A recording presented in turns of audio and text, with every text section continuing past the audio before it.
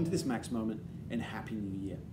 With each new year, it affords us the opportunity to take stock of our lives a little bit and look at some of the things that went well in the preceding year, some of the things that went not so well, maybe some of our triumphs, some of our disappointments.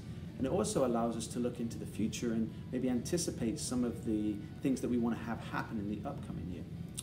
And as I went through this process myself, I began to think of a story that's really resonated with me in understanding how we view our lives and how we view the years that pass by in our lives. And it's a story about a gentleman that goes to a golf course to practice his golf shots. And he goes to the driving range and he takes a bucket of golf balls and he goes to the tee box and he gets his golf clubs, he takes his favorite golf club out, puts the balls out on the tee and he just starts swinging away, just hitting shot after shot after shot with no real intent, with no real design about what he was doing. There was no pre-shot routine and he was just hitting shot after shot. Some were good, some were bad, but really he was wasting a number of the shots. And as he was going through this mindless act, just again and again, ball after ball after ball after ball, um, something changed midway through. Because as he was reaching for ball after ball after ball, there came a point where he reached down.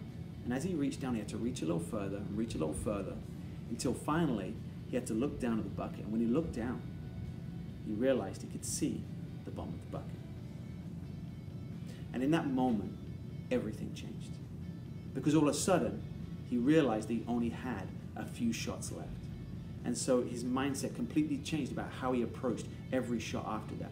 Every shot had more meaning. Every shot, there was intent. There was a practice swing before. He started to envision what he wanted to have happen to that ball and where he wanted it to go. And all of a sudden, everything about that moment took on more meaning. And I'm reminded, don't we do that in our lives? That bucket of golf balls is each passing year for us. We say we're going to do things, and then when we don't get to them, I will do it next year. I will do it next year. And each year passes us by until we're going to get to that point where we realize we don't have that many years left. And I don't want you to get to that point too late. I don't want you to realize too late that you missed out on the opportunities. So, this is the year where you have the opportunity right here, right now, to design your life the way you want it. Mark Houlahan says if you want your life to be a magnificent story, then begin by realizing that you are the author. And every day you have the opportunity to write a new page. And you have an opportunity this year to write the next chapter in your life. And I want you to make it a great chapter. What does an extraordinary year look like for you this year? What does an extraordinary life look like? Because when you can envision it, you can see it, then you can be it.